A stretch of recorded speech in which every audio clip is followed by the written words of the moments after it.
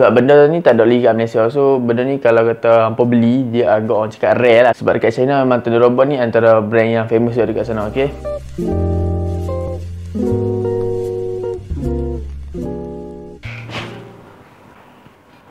Semua, Assalamualaikum. Bertemu lagi kita dalam channel ZMS Jadi video kali ni kita kita ada kejutkan lagi guys. Kita ada kejutkan lagi ya. Nampak gayanya Thunder Robot uh, berminat dengan channel ini nampaknya ya. Sebab apa? Bawa-bawa ni dia hantar aku satu lagi mouse untuk kita review untuk video ni. Baru sebelum video ni start jangan lupa untuk subscribe Dan kepada siapa yang baru sampai kat channel aku Terima kasih sebab baru sampai kat channel ni. Dan kepada siapa yang dah subscribe tu Jangan lupa untuk like Okey, jadi aku sebenarnya tak buka lagi kotak ni. Aku tak bu tak unboxing lagi. Mouse yang dia hantar kita ialah Thunder Robot MG301 gaming mouse USB wired iaitu dia ialah uh, mouse yang jenis wired bukan yang wireless. Tanpa kita nak masa jom kita buka dulu. Okey, jadi inilah ha, rupa kotaknya. Tadi kotak kat plastik. Okey. Ni bahagian belakang kotak ni. Okey, kat situ dia tulis ah uh, berkata Thunder Robot dengan QR code lah. Okey, ayolah kita buka dulu ya. Okay, wow, wow, macam menarik je. Okay, first kita akan dapat buku manual macam biasalah. Selalunya mereka akan bagi kita buku manual. Wow, what is this? Wow, wow, ini macam baru je kan? Macam baru je. So, anda akan dapat ini. Nampak?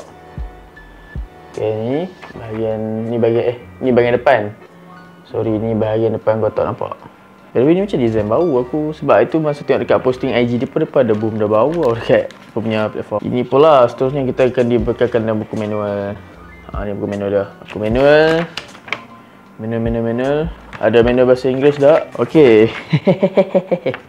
Okey, ni manual pun totally bahasa Cina guys. So, aku tak dapat nak beri bantuan kepada anda. So, aku akan beritahu apa je spek yang uh, di offer kat kita untuk uh, model mouse kali ni. Sebab benda ni tak ada lagi kat Malaysia. So, benda ni kalau kata hampa beli, dia agak orang cakap rare lah. Sebab dekat China memang Thunder Robot ni antara brand yang famous dekat sana, okey? Oh, okey first impression aku Mari kita buka Ok, mouse kali ni juga aku difahamkan dia tak ada software juga macam yang kita dah review sebelum ni. Memang tak ada uh, sebarang software tapi wow Tengok kat sini guys, tengok sini. Dapat ada tanda robot is kan dan kabel yang dia kabel jenis braided So boleh kata agak tahan lama ok Kabel-kabel yang jenis braided ni Dekat bahagian atas USB ni apa akan dapat? Lihat Ada logo tanda robot kat situ dan design untuk mouse kali ni Aku tak nak explain apa je lah. Tapi mouse yang jenis punya Bila pun main game Ibu jaya apa bila pun main game kan Apa takkan mudah rasa tersisih lah Ibu jari ni. Sebab apa dia ada grip untuk Aku rasa untuk first impression aku Bila aku pegang ten robot yang model kali ni Walaupun dia wired Tapi dia punya keselesaan dia bagi aku Weh quite nice lah actually kali ni. Okay mouse ni dia mempunyai 80 million effective click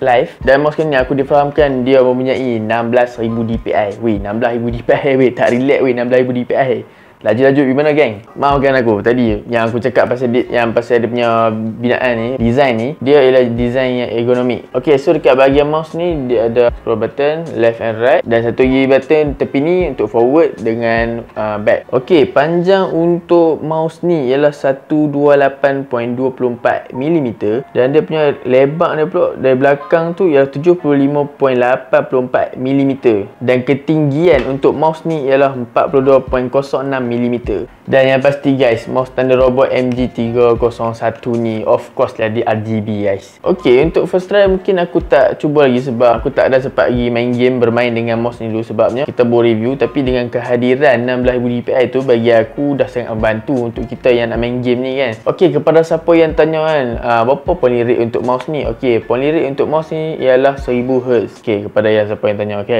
clear Last aku nak beritahu dia punya pasal uh, rolling scroll ni. Ni bukan uh, scroll yang biasa macam apa tengok. Dia ialah sejenis metric non-slip roller di mana bila hampa scroll kat benda ni, roller ni apa takkan mudah tergelincir? Okey kan permukaan tangan kita kan bila kita main game mesti berpeluh kan? So dengan ada bantuan material yang macam ni dapat membuatkan kita punya tangan lebih grip untuk kita nak reload ke kita nak change weapon ke. Ha, benda-benda macam ni memang bantu untuk gamer lah. Okey kalau sampai situ je review untuk kali ni. Apa pendapat apa pasal mouse ni adakah tertarik dengan dia punya design dia? Dan terima kasih kepada Thunder Robots kerana sudi sponsor untuk next video aku kali ni. Dan menghantar mouse yang super awesome ni kepada kita untuk kita review. Jadi jangan lupa lupa untuk like, share, komen dan subscribe. Kita akan jumpa di next video akan datang. Aku Azri English. Bye-bye. Assalamualaikum. Fuh, outro bau, outro bau. Bye.